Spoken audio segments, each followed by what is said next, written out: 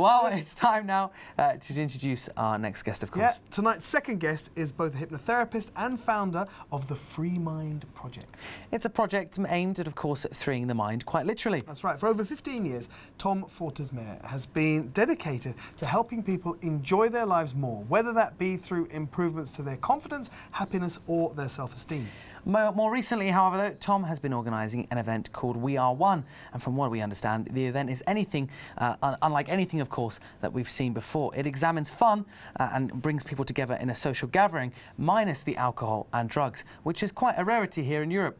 Tom and your lovely daughter Portia, welcome to Living the Life. We're thrilled to have you with us. Thank you. We're, we're thrilled to be here. Hello, Portia.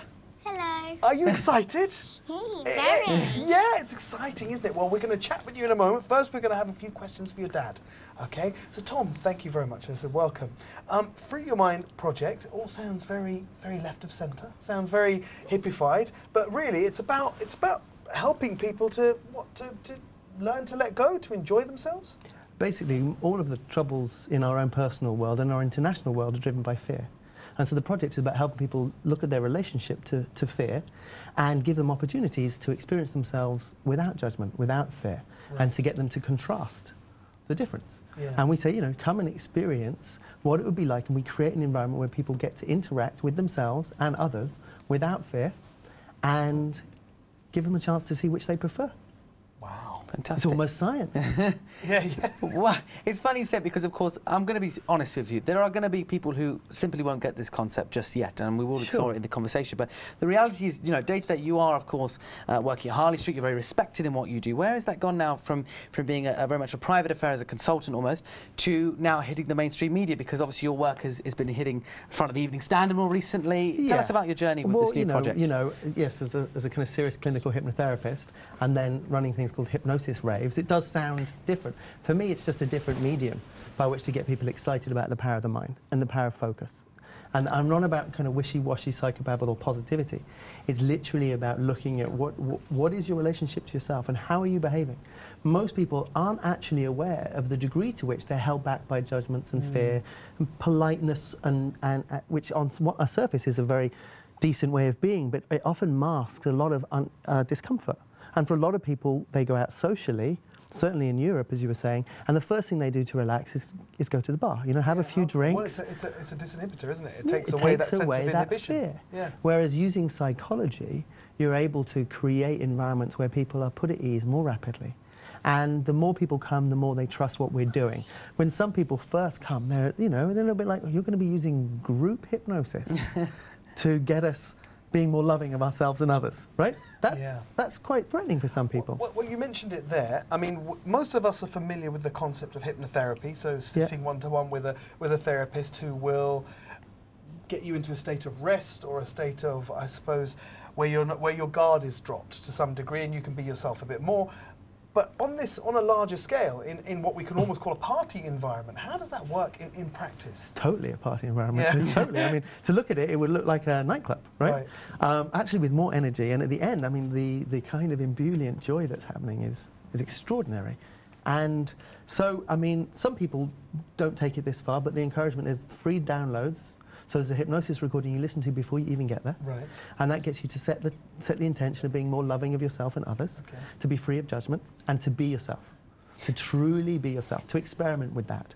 And there's a tone in that, which kind of is the conclusion of that recording, a very powerful kind of bassy tone. And at the start of the parties, we get everybody there, we do some things to get them relaxed, Bring your tone. and then we do a group hypnosis. It's about a 10 minute process to get them to reinvigorate that intention. Their eyes are closed, we get them visualizing leaving, having had an amazing night, and then we play that tone. And then we go into 90 minutes. It's like a bit of NLP in there as well. Well, NLP is an, is an offshoot of hypnosis. right. Yeah. Okay. There'll be some people, no doubt, who will be watching this and thinking they're mentioning nightclubs. What is on earth is going on living the life? But let us bring some reality and some, some uh, you know, uh, realism to this.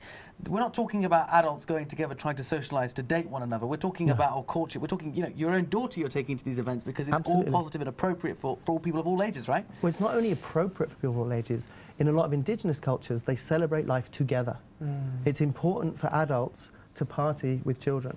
Yeah, not to drop them off at kids' party, to party, to celebrate life with them. It's important for kids to dance with adults and for adults to dance with kids.